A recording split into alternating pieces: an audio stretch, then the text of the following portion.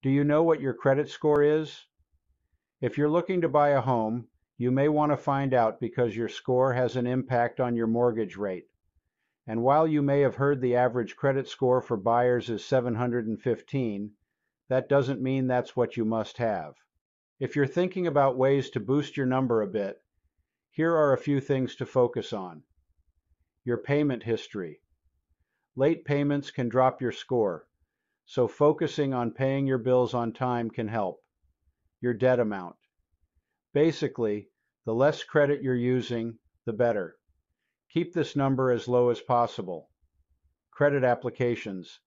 If you're going to buy a home, don't apply for additional credit. If you do, it could result in a hard inquiry, and that could impact your score. Need more info? Let me connect you with a trusted lender.